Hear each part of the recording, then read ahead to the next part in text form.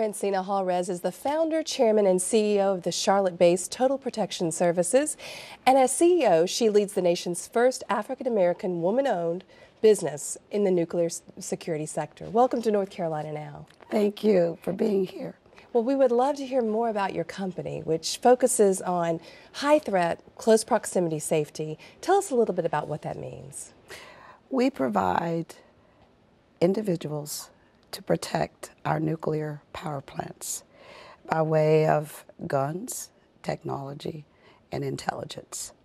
That's what we have done for 12 years protect our nuclear power plants. And I know that I read that you really started out as a computer science teacher in the public schools. I went way back and started staffing. Yes. And after 9 11, talk a little bit about how the nuclear security came into play.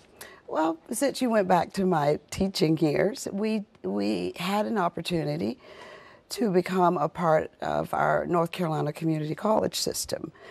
Uh, in a time where they were seeking minority and women owned instructors in our community college.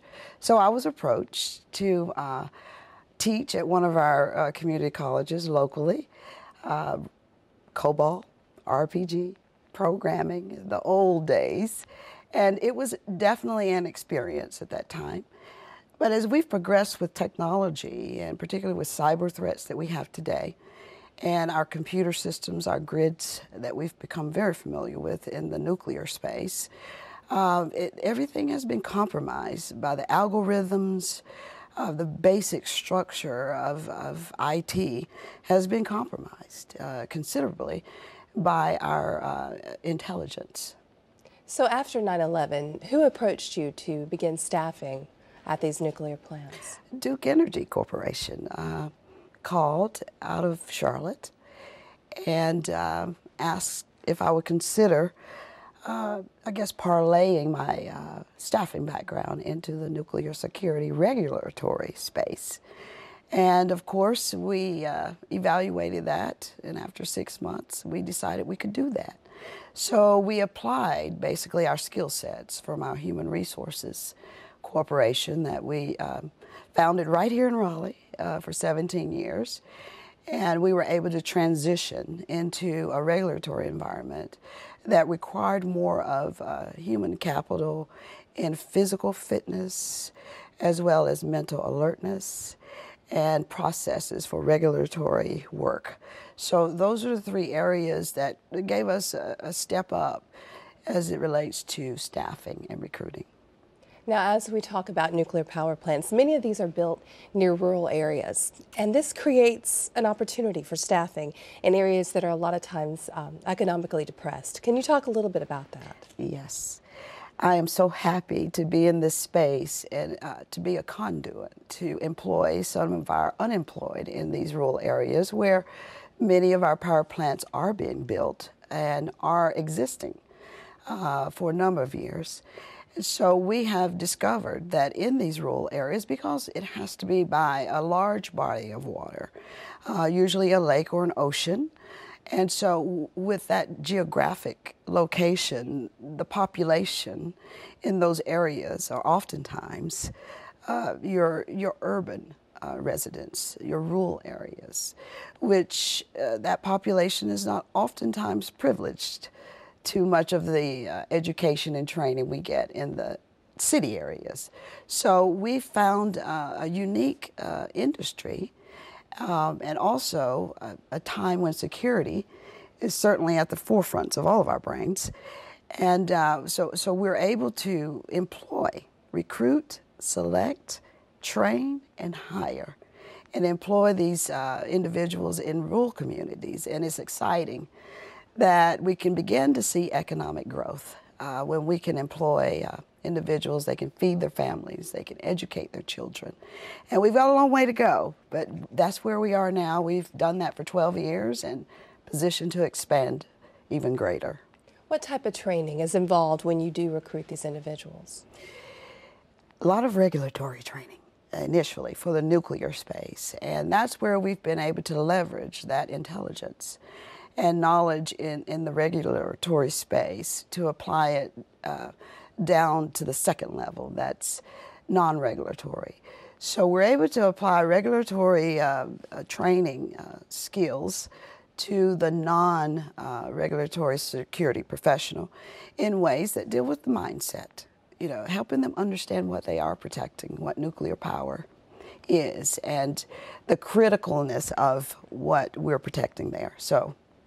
Now, you are a security and safety advocate, and you go through many ways to improve security in our lives. Can you talk a lot about those, a few of those? Of course. Since our uh, Boston uh, incident. Uh, we've had several shootings, um, break ins, compromising on our grids. So we are a firm believer and have experienced in uh, just getting back to the simple basics. I have encouraged families to come back together, to sit at the table, and ask questions. You know, ask your children what they're experiencing in school, in their activities Parents, husband and wife, talk to each other, figure out what's going on in your threatscapes. And so that has been the fundamental basis for securing our mindsets is to become aware of what each of us are experiencing every day in our lives that may be a threat. And once we do that, we can collectively, as a family, as a unit, codify all the information that we have and assign parts where everyone around the table becomes a security observer for the family. So when you step out of that home, everyone is empowered to protect themselves. And that's what we found is our greatest uh, success in securing our mindsets. You, you spoke of a heightened awareness as we hear news of overseas. How is this affecting your staffing? uh, right now in the government sector and in the nuclear security sector? Well, at this time, uh, the Syria, Middle East unrest is uh, it's affecting all of us, and I think in an unusual way, as more need for development of the workforce. Uh, just like we're developing our workforce here.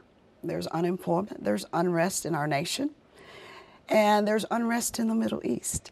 And so, what we have uh, proposed in the middle of this unrest is let's focus on developing the people. Let's give them skills. Let's give the mothers and the parents skills to be entrepreneurs, uh, to actually go into the workforce, to have a job. So I believe that when there's war, it's an opportune time to create peace. So it's affected us in a positive way it's, it's allowed us to look at a situation that's, that's pretty bleak and create opportunity for hope. Can you tell our viewers uh, where, if they would like to see more information about security, how to improve security in their lives, where should they go? Website www.total-protections.com. That's our website.